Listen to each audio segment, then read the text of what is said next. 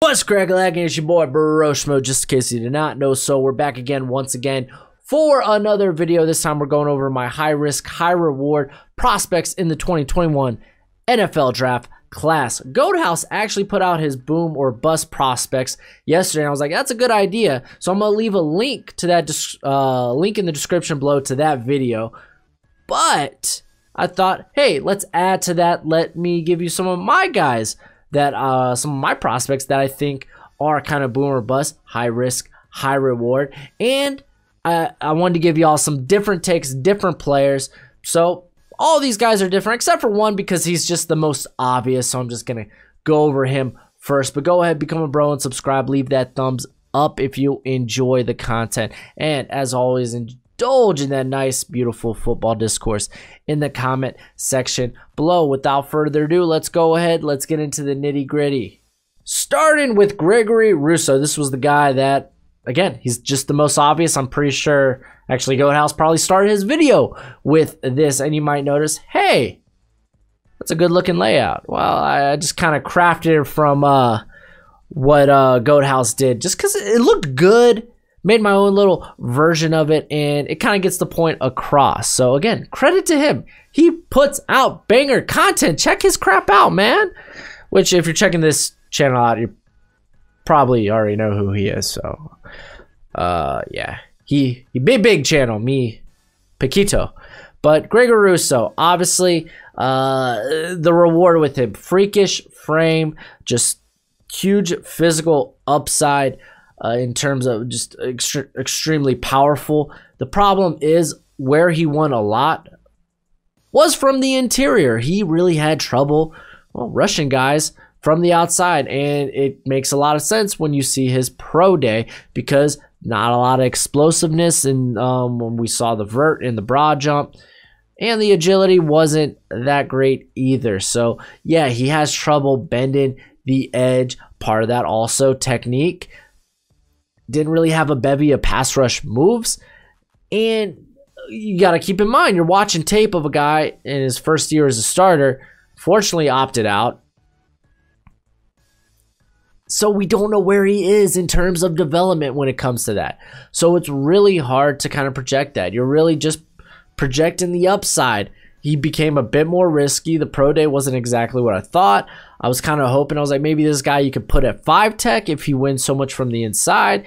Came in, I was hoping he might get to that 270 region, but he didn't. He's like 266. Uh, yeah, 266.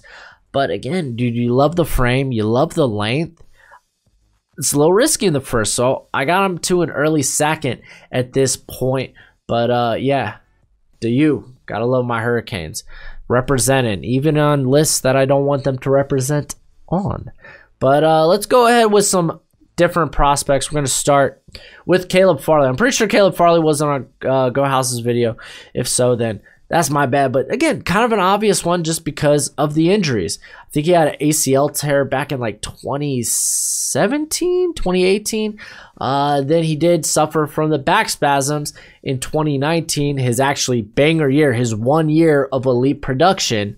Uh, yeah, actually, the ACL tear was 2017 because 2018 wasn't that good. uh, but 2019, he had a banger of a year, but again, the back spasms. And then just recently, he couldn't work out on his pro day because opted out in 2020. Kind of hope to see him on his pro day because he does have these high end traits that kind of get corners drafted in the top 10. Just think of CJ Henderson length, speed, just press ability overall just elite production granted one year but really one year is all you need to get people talking people salivating people drooling oh caleb farley again not so much with the back injuries kind of a concern granted the procedure he had was kind of like a real in and out he should be ready for training camp real easy i think it was to remove um like a disc or something like that um but again, you kind of worry that this may be a recurrent injury, especially with the back. The back is kind of among the worst injuries you can have. So there are that concerns. But again, dude just oozes elite shutdown corner traits. That's hard to pass up. I think he's definitely at this point probably the third, maybe even fourth corner taken in this class. but I think some team's going to be willing to take a shot on him. Right now, I got him as a mid first rounder. I, again, I'd be willing to go out on a limb, think and think, hey, I'm going to bet on these trades. I'm going to bet on these trades. Worked out with CJ Henderson. Granted, he didn't have the injury concerns.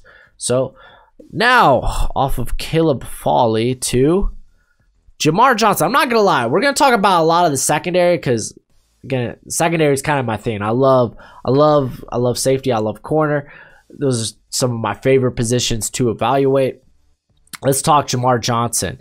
Uh, kind of a fast riser, a name that's kind of come out of nowhere in the draft community, and I could see why. Like the guy,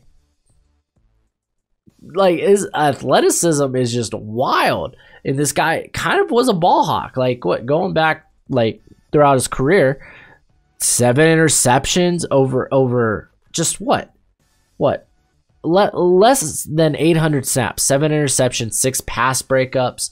Uh, the guy played the slot a majority of the time in 2019, then moved to play in deep safety, where he just moves different. The amount of control this guy has um, when he goes to attack the ball, like again, this guy oozes ball hawk. Uh, two picks off of Justin Fields himself. Very impressive. Um, where you do raise questions is again only 800 snaps, limited sample size. That's actually going to be a lot of prospects this year just because, uh, well, 2020 kind of sucked for us all.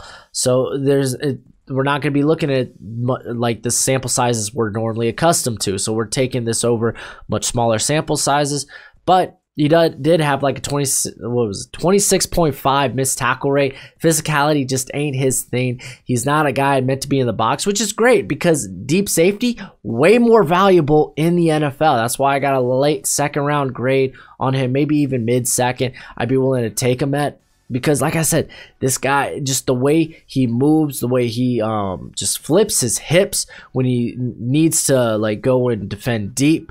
Uh, man is just good. I love the movement skills. I love the movement skills. And then on to Tay Gowan. Like I said, we're talk we're gonna be talking a lot of corners, a lot of safeties. Tay Gowan, the quite obvious uh, risk is the sample size.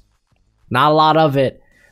And it's against well, what you would consider lower competition, the group of five. So in terms of sample size, we only have 2019. 2020, he, he ended up getting um, the Rona and was like, hey, man, I don't want to put my family in danger, so I'm just going to opt out, which really sucks. This is a guy, and he didn't even get a Senior Bowl invite. How you gonna, Mobile, how you gonna do him dirty like that? Like, I really would have loved to watch this guy at the Senior Bowl because he, he just has the ideal press man corner traits. Like, the, the guy legitimately shut down Simi Fehoko, who he big, he fast. You like to see that. He's got good acceleration, good speed overall. His pro day is today, so we're going to learn a lot more about him. So there might be a bit of revision to this list, but I got an early, I think third round is where I'm willing to take a shot on this guy. Again, only played for Central Florida in 2019. He was like a JUCO transfer. So, hey, ho ho. I'm hoping Tay Gowan really uh, looks the part. A lot of people I think are really starting to come um, are starting to come around to him or at least start to know about him. Because honestly, this guy's Twitter game on point. Just gonna say that. I'm just gonna say, hey, that should be in the rewards. A plus on the Twitter game. Follow you some Tay Gowan. Uh, that and again, you, you look at you kind of wish these guys be closer to 200. He's pushing 185. Again, pro days today. We're gonna learn a lot more about him. So, yeah. Uh, again, he kind of flexes high high end traits. So you, you want to see it. He I'll I'll give him credit. Hey, 2019 he was dominant. The one time we saw him against not JUCO competition, he was dominant. And then Kelvin Joseph, of course, he's going to be on this list. I talked about him in my overhyped prospects. Uh, the sample size, the guy, he, he was a transfer from LSU. He was suspended before he opted to hit the transfer portal. Uh, almost came back to LSU, decided not to. I haven't seen any. I couldn't find any specifics on why he was trans or why he was suspended. Uh, some of the people in the NFL that know uh, says it wasn't good. That's all I got. Uh, so let's just go ahead and look at his play though. Again, we're only looking at like a limited sample size, like because he only had what 200 some snaps at LSU. It wasn't pretty. He was a freshman. Got to be on the field in 2020 and looked pretty darn good, mainly against Alabama. You're gonna look at good against a squad, it's gonna be Alabama. Unfortunately, didn't really help their team win, but eh, you can't blame him. He did his part. The only thing is, there's a lot of inconsistencies on tape. He got murdered by Ole Miss for two touchdowns. Vandy put up what over 100 receiving yards when targeting him. Vandy again a bit inconsistent. Oh, but he shut down Alabama. But Vandy. Uh, but he does have elite traits uh, for the position. Almost at that six foot threshold, but and almost at the 200. You love to see that for a potential shutdown corner. On top of that, his uh, let's actually take a look because uh, he's got the length. Uh, let me see. I have this pulled up right here. On a side note, Brandin Echols, who I haven't talked about in a year, guy that undersized, but I liked a lot. Well, low key, man. He he might be a late late day three slot corner, like high tier prospect, man. He, he put up some good looking numbers. But in Joseph, the length, while it is above average, it's 30 it's uh over 31 inches. It's not like it's elite. It's above average. It's good. It's good. Uh but hey man, everywhere else though, he put up banners. Um ran under a 4-3. Phenomenal. His uh broad which looked great. You saw the explosiveness. You like to see that uh, acceleration, potential closing speed. It's kind of what you get from the broad. Vertical didn't really match up, but eh, vertical's kind of kind of wonky. You you kind of take the broad jump bit more serious than the actual vertical. So again, the guy's got elite traits for the position, or at least above average traits uh, that are borderline elite.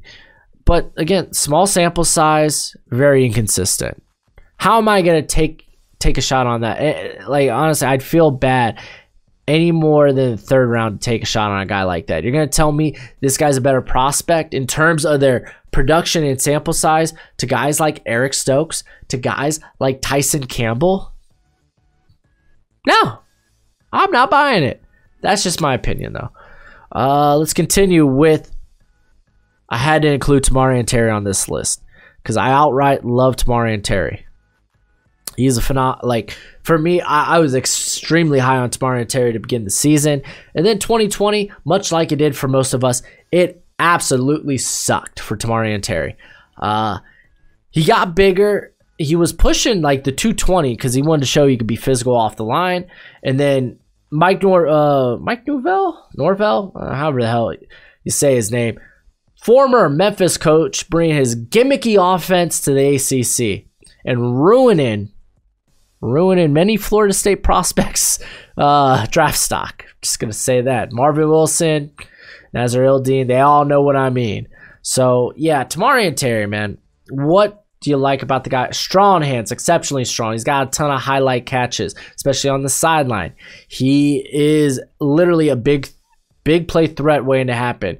You may look at him and be like, okay, he's like a bigger contested catch guy. Uh, more or not even, like he does has does have a lot of contested catches, but this guy is a vertical separator. Like he's got a lot of hey, you just got burned on his tape.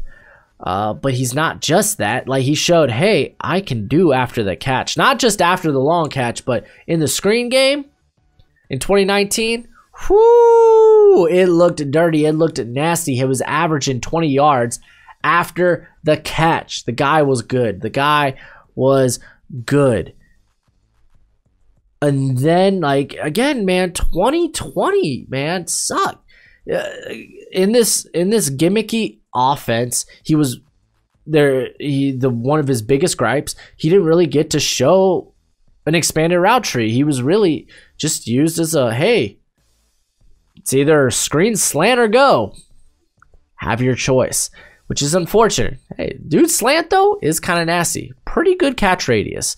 Um, a lot of people question the physicality at the line of scrimmage. That part of that is why he put on the weight to get to be more of a boxer there at the line of scrimmage. Um, it was all right. Um, his get off on the line, I think, is adequate. It's good enough for me. Um, when he came to his pro day, I thought it looked good. He did come in weighing in a lot less, so I guess he put on, uh, took off some of that weight. To, I'm assuming to run faster, but I think he, he's probably his playing weight's probably going to be around 210, 215. Uh, how I project him, I have it. I have here mid fourth. I'm probably gonna have a third round grade on him. I'm an absolute Tamorrion Terry mark. Um, I'm blinded. I'm I see him through rose tinted lens, rose tinted glasses. Straight up, I I I call I call a spade a spade, man. I'll be transparent. You you could tell me whatever how you feel about Tamorrion Terry. I'm gonna disagree, even if it's rash, even if you rationalize it. Uh, I, I mentioned the strong hands, and I'd feel, uh, I would feel, I feel disingenuous if I don't mention. Wow, what about those drops? A lot of them were focus drops. They're not ball skill drops. He has plenty of ball skills. Again, take a look at the contested catches. He's got a ton of them. Uh, a lot of them were actually uh, in the slot or in the not slot in the um, slants, or we're either on slants or screens. So basically, he's looking upfield before he even has the ball. Guess what? Those focus drops, they're very coachable. Ball skill drops, not does so much. Ask our boy MVS, unfortunately. I hate that he's kind of the poster boy of, hey, ball skills, what? Why you catch him with your chest? You don't do that. Uh, anyway, I love Tamorrion Terry. I think he's well worth the risk. Um, I would dare say parts of his game are. I'm not gonna say it because y'all are gonna take it as a comp, and I hate giving out comps because people take them too literally. Ar'Darius Washington. Let's get back to the secondary. Uh, it's kind of obvious why he's kind of a boomer bust. Why he is a high risk, high reward. It's because of his size. The guy's size sucks. You look at him and you're like, well, he's slot only. You literally immediately dismiss him. There is like you you might say there he could be the exception to the rule, but wh- who wants to bet on the exception that this guy might be the exception? So a lot of people are going to view him as a slot only, at least initially early in his career, just because of his size. Uh, limited range too. I won't trust him deep. He's got all right speed. He and like really like he's built like a slot corner in terms of his skill set. Like his change of direction, his lateral movement, top notch, and his skill, like his his just overall understanding of how uh, of how routes develop and just him as a processor is probably among the best in this class. Like this guy got his hands on the ball a lot in 2019 and in 2020. However, there was a significant dip to his production in 2020. His completion percentage allowed was a lot worse. Uh, his tackling was a bit more questionable, which isn't good when you're coming in at only 5'8, 178. So it's hard to warrant anything higher than a third round grade on Washington just because there is a lot of risk. And just again, guys like him just don't translate. So it is risky. Does it mean I think he won't? No, that's why I got a third round grade on him. I think he's well worth it. He could be he could be sneakily one of the better prospects in this class. I like him a lot. Kadarius Toney. I was like going through this and I was like, who's the obvious answer here? It's Kadarius Toney. I know I know Goathouse said Rondale Moore. That's more of the obvious answer. But a guy similarly built and his game is similarly tailor made to would be Kadarius Toney, man. Kadarius Toney, he's coming in a bit bigger though. He's 5'11, 4 inches taller, and 193. So I wouldn't necessarily say he's as jacked as Rondale Moore. He's not built like that, but uh Kadarius Toney definitely was more of a gadget player there at Florida. At least that's how he was utilized. Does that mean that that's his ceiling? He's just a high end gadget player? I don't think so. Because despite being not necessarily the most polished route runner, I think at the Senior Bowl, he really showed that just his physical, his, his athletic ability could make him a scary route runner. I think initially early in his career, he's probably slot, probably a lot of stuff may be schemed. But this guy just where he like it might it's going to be role specific, but oh my gosh, this guy after the catch feels like you can't bring him down. He is legitimately scary with the ball in his hands. Which you may say, ball in his hands. Funny you mentioned that. He had like two or three drops in the Senior Bowl. Doesn't look pretty good to me. Yeah, well, over the course of what, 150 targets throughout his Florida career, three drops. So, uh, yeah, I'm going to take the big production over what you saw at the Senior Bowl, a little, just a little bit. I think this guy's this guy hands ain't a concern. They are not a concern whatsoever to me. I'm more concerned about okay, can he become more polished as a route runner, like run more crisp routes? Because again, this guy's got some freaky movement skills, uh, and like if so, like eh, he can be quite the weapon, quite the weapon in the NFL. Again, it's just uh, how long does it take him to develop uh, as a route runner? Because I really do think season one he's to kind of be role specific. Uh, I don't think he comes in right off the bat, and because a lot of people are probably to make the comp of, unless you're making the Tyreek Hill comp, then I'm like, you need to slow down.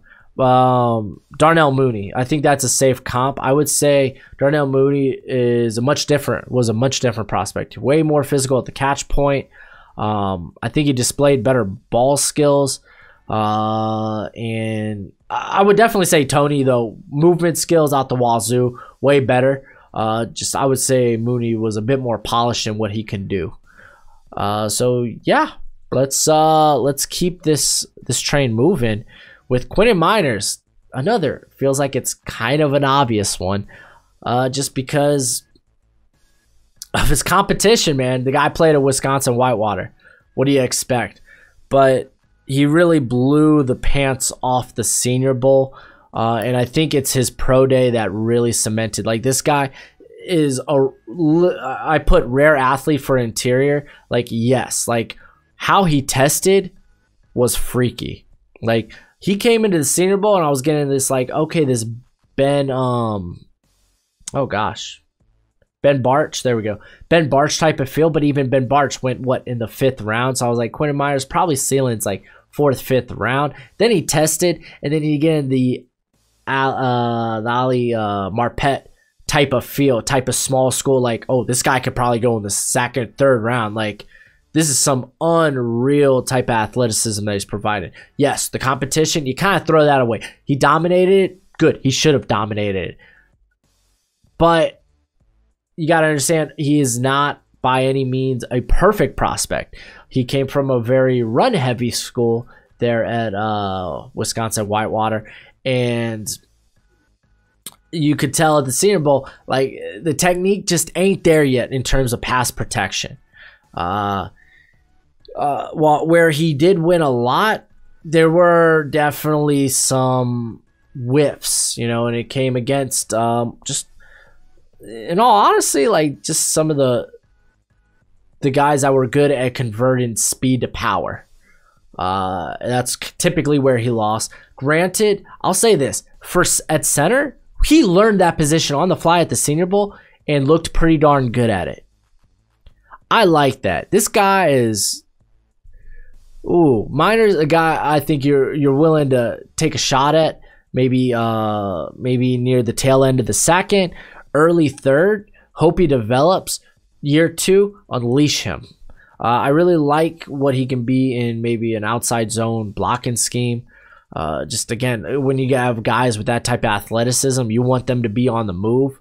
Um, you do worry about how he handles power, but not so much. I think he did it pretty well at the Senior Bowl. He was pretty good at um, laying the anchor, and when he had to, he reset it pretty well as well. So yeah, man. I, I I'm uh, I'm I'm on the train now, I guess. Choo choo. And then my final guy on the list, Daviyon Nixon, uh, which is a lot of people are really high on him. Like they see him as like the second uh, defensive interior player to be taken off the board, and I'm just I'm not there, dude. I think the learning curve for him is going to be pretty steep. Um, he didn't become a starter till this past season, where you're like, oh, he dominated. Well, there were also a lot of plays he disappeared at. Um, uh, especially in the run game. This guy has a hard time once he gets stuck on a block. There's really no plan B to his uh, pass rush or even in the run game. Like he, would quite often just just be a body, just be a, a guy that's taking up space. Then again, Iowa's system kind of asks you to do that. So, you know, there's kind of give and take there. But uh, again, rare explosiveness for a guy uh, his size.